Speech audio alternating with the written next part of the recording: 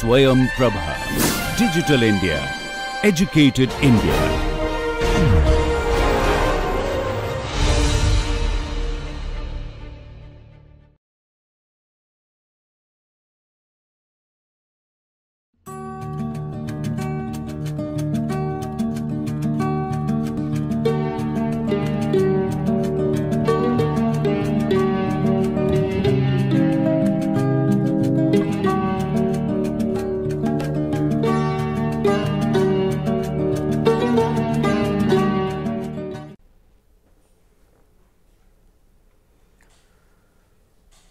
Over the next few lectures, we are going to talk about numerical solution of steady state heat conduction or elliptic partial differential equations in general.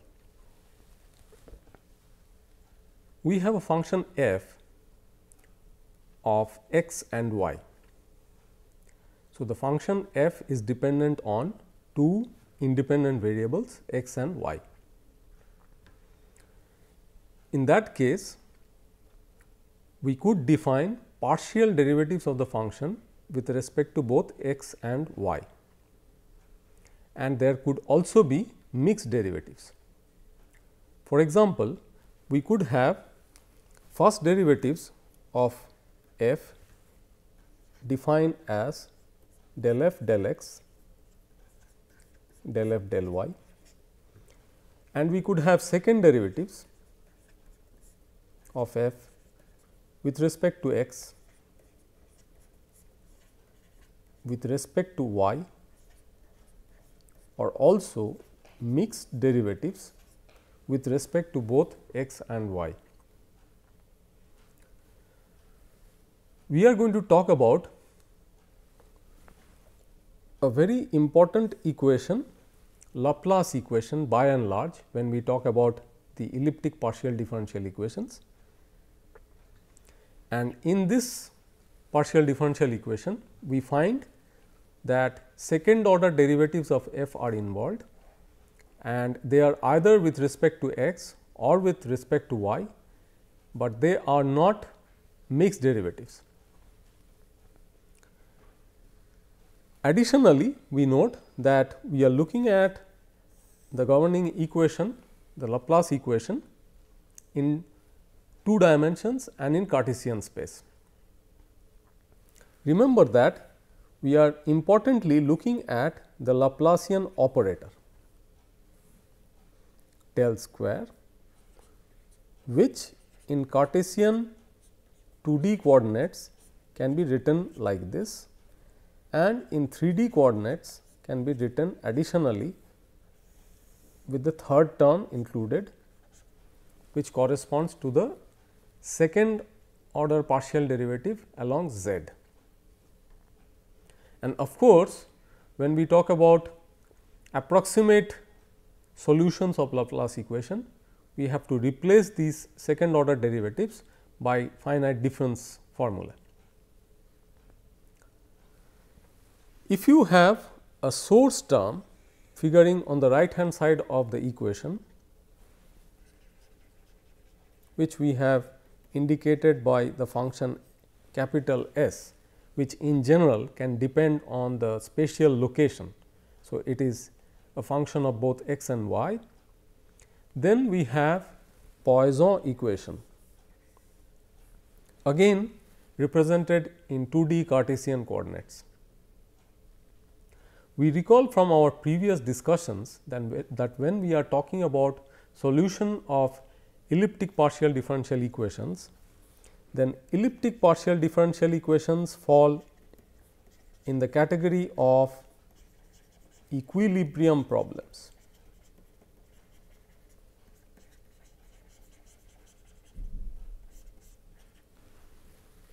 Inst incidentally, steady state heat conduction equation happens to be an equilibrium problem. Just to cite an example, if you have a domain which is given by this curve, let us say the domain boundary is defined by omega, then when you try to define Laplace equation or Poisson equation, in general an elliptic partial differential equation in this domain it is essential that you define the boundary conditions all along the domain boundary either in Dirichlet or Neumann form. So, if it is a heat conduction problem, it boils down to defining temperature or temperature gradient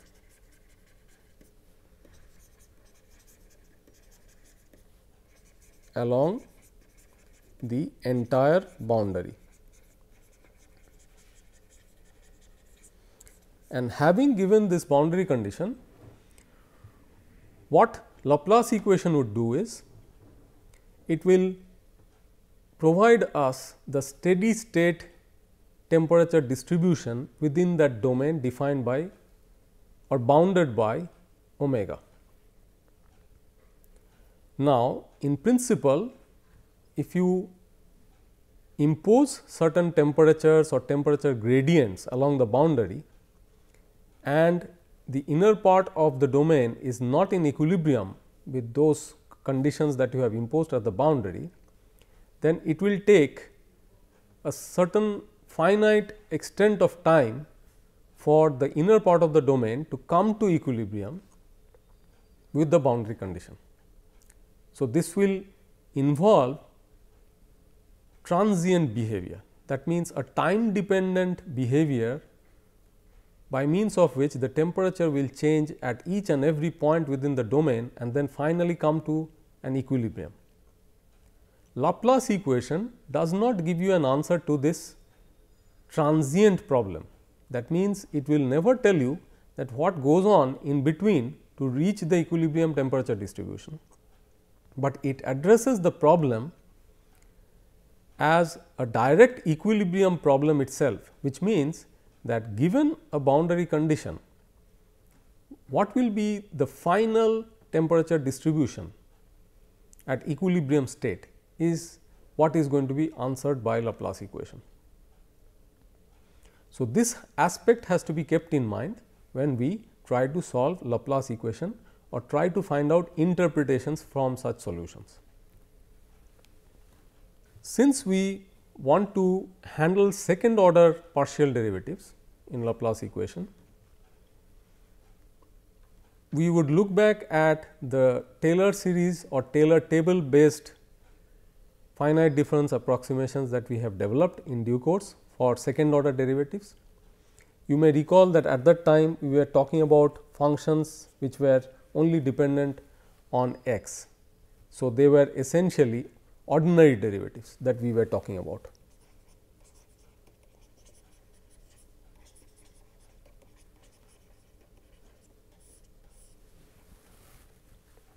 And this is a formula that we had derived, which is which can be stated as a CD 2 formula for second derivative, because it has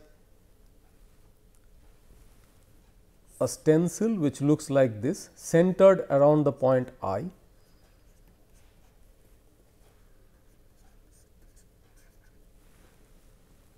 and it has the leading error term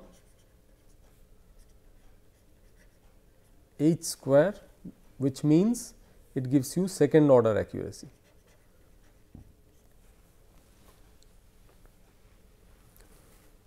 Now, when you are talking about functions which are dependent on more than one independent variable like the one we are talking about now.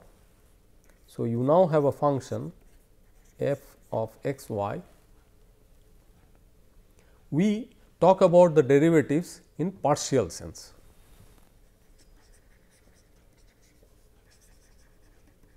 However, the Taylor series approach applies equally in this case too. And therefore, you can end up using the same kind of formula that you have derived earlier for approximating the ordinary derivative using finite difference formula over here as well. But only thing that you have to keep in mind is that when you are taking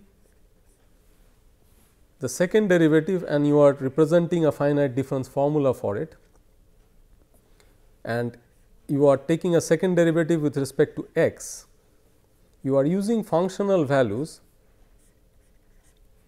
for constant y. So, only x changes here from x plus delta x to x to x minus delta x, but as you can see the y remains the same. So, this derivative applies for a constant y. This shows the order of accuracy. It is second order accurate in terms of the grid spacing along x direction. In a similar manner, when you are taking the finite difference approximation for the second derivative along y, you can see that x remains constant, while you move from one grid point to the other along the y direction. You can very easily understand that these values which are represented at specific values of x and y could also be represented in terms of the grid index. Like for example, this point may have a grid index which looks like this. Let us do a little more detailing on this. So, we will write down the Taylor series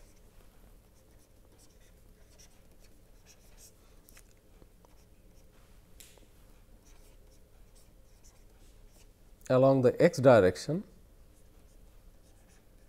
to express the value of the function f of x plus delta x y. So, let us have a look at how the Taylor series looks like.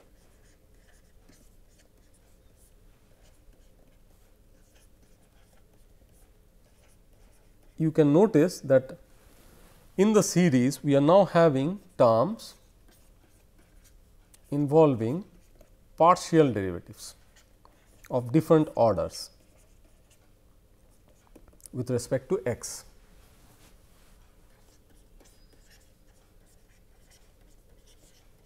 And you can see that we are defining all this for a given y.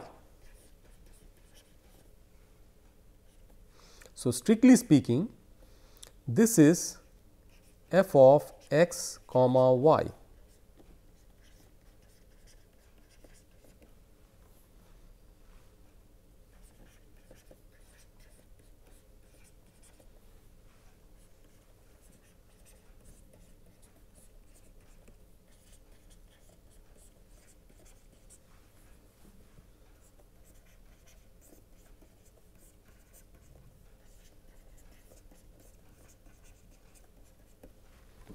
So, we now have the Taylor series for f of x plus delta x y and f of x minus delta x y involving partial derivatives of f with respect to x. Now, if we sum the two equations, what do we get?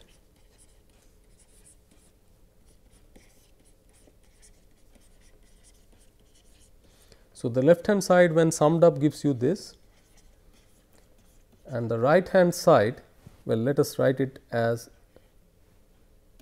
f of x comma y. So, right hand side gives us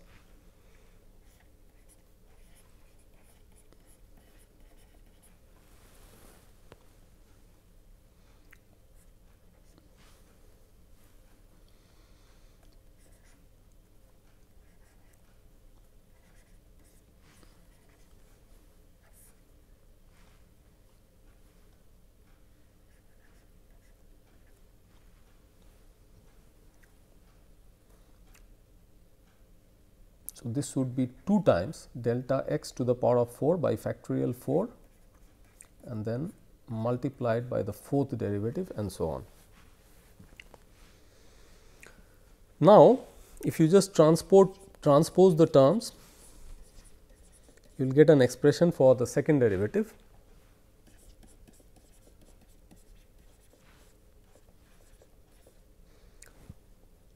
Again, let us make it more specific here.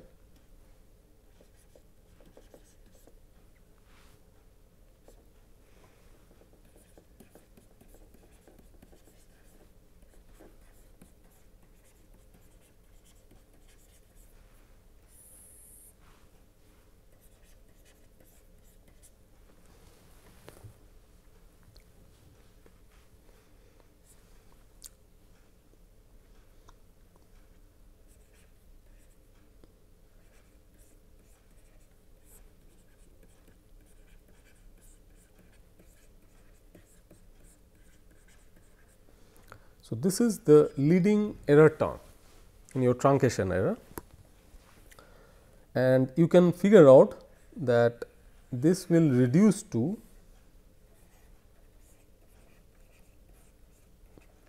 delta x squared.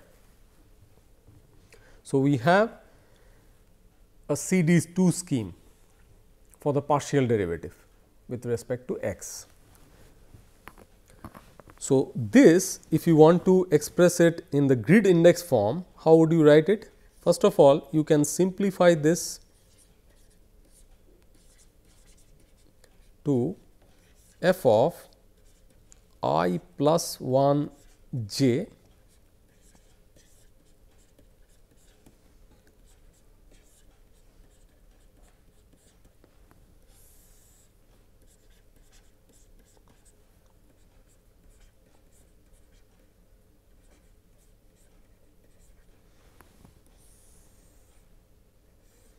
So, we would no longer retain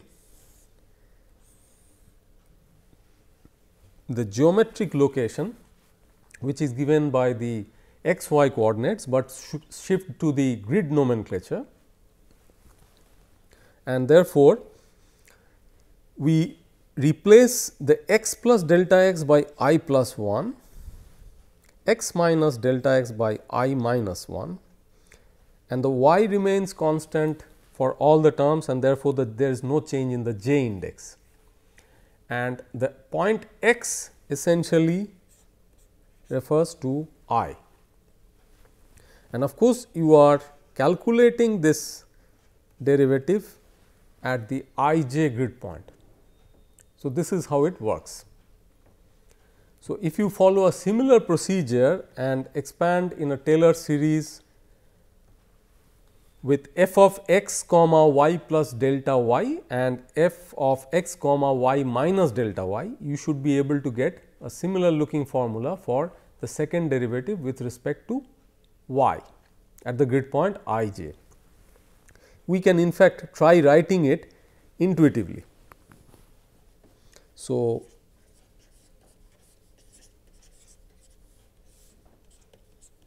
we can write it as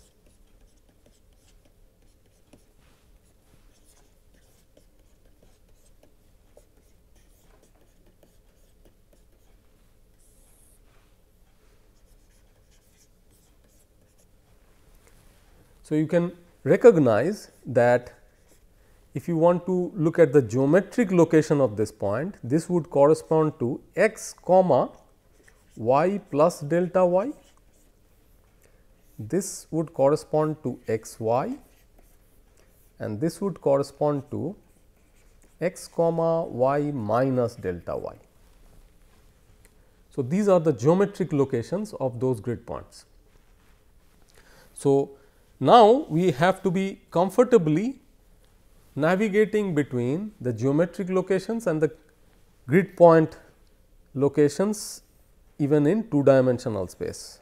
So, till before this most often we have been talking about a one dimensional grid and there we had often reduced partial differential equations to ordinary differential equations, but now onwards we will more often talk about problems where the function depends on more than one independent variable. Here we have dependence on two spatial independent variables. The function could also be dependent on spatial variable as well as time. Even in that case, the function has dependence on more than one independent variable and therefore, all such problems will involve partial derivatives. So, just looking back at what we are talking about in the grid sense, we have used up a stencil like this in expressing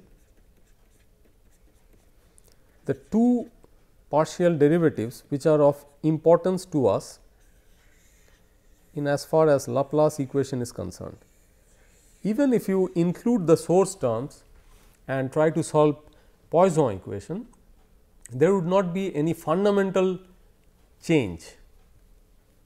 The additional issue would be that you have to accommodate a source term on the right hand side of the equation, but the discretization of the two partial derivatives on the left hand side of the equation remains the same as it is for the Laplace equation.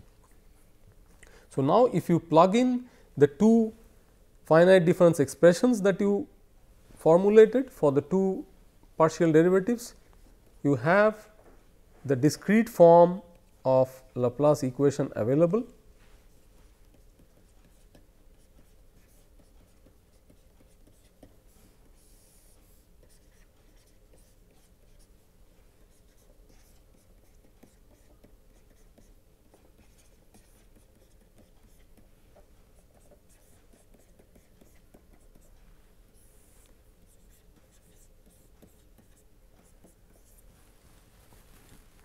So, this is how the discrete form would look if you have different grid spacings along the x and y directions.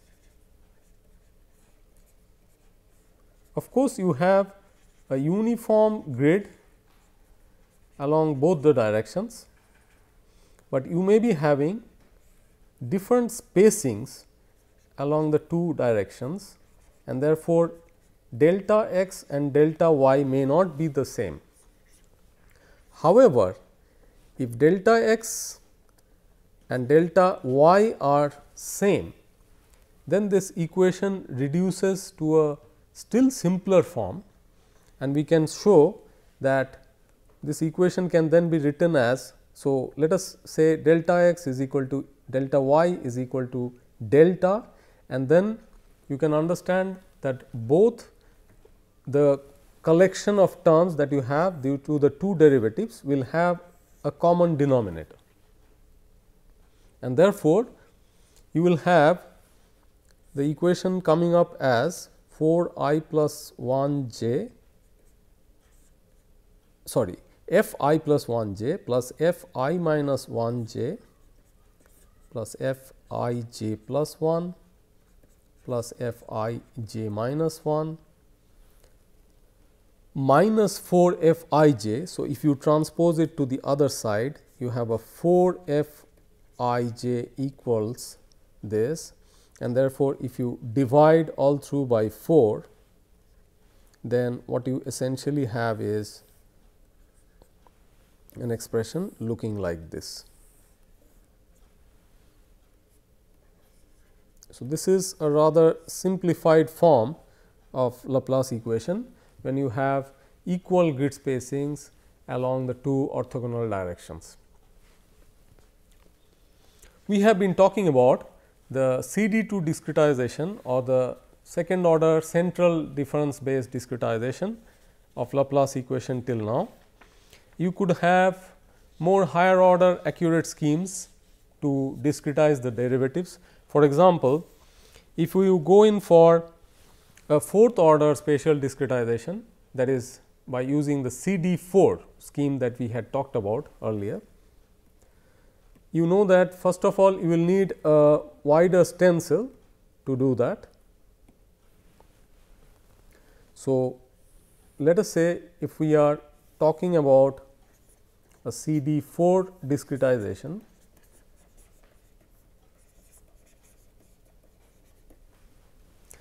we would end up needing more number of points in the stencil. So, when we say more we need to just think back and remember that what was the stencil size for CD 2 it was a 5 point stencil. So, if you recall we just drew these points and we could see that it was actually forming a 5 point stencil for us. So, the question is that what would the stencil size look like for CD 4 discretization? So, we can intuitively understand that it would look like this because we are already familiar with how CD 4 works for ordinary derivatives for the second order finite differencing. So, you have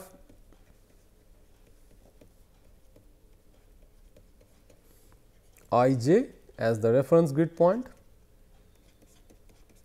and then all these neighboring points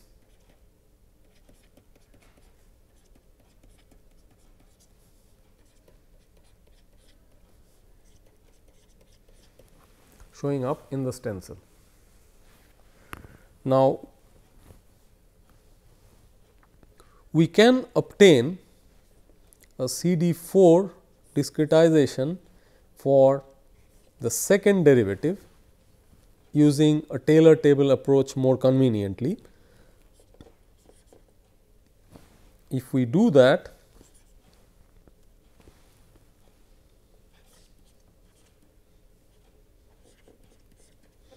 we will find that it looks like this.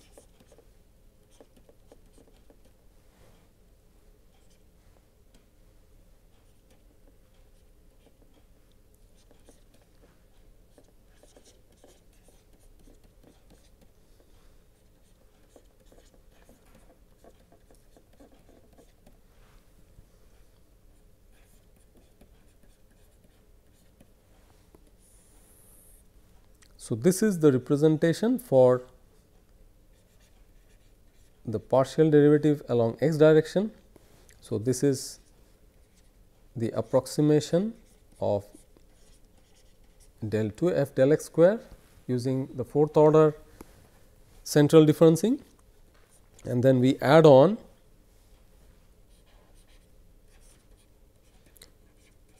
the second derivative along y direction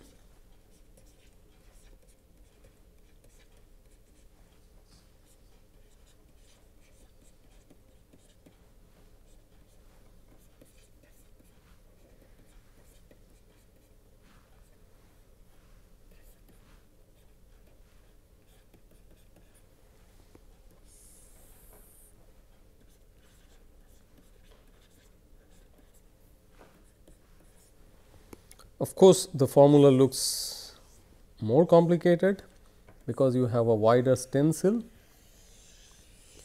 and it could be a good idea to try obtaining this discretization using a Taylor table approach. One thing that we can understand is that it will certainly enhance our formal accuracy but it would be more difficult for us to handle a scheme of this kind when we go closer to the boundaries. Usually, the kind of strategy that we have followed in order to tackle boundary conditions using the pad E scheme which we showed in the previous lecture. We also use similar strategies when we handle these explicit finite difference approximations by switching over to lower order accurate schemes in general as we approach the boundaries because that would involve smaller stencils and therefore, would be more convenient to represent. Thank you.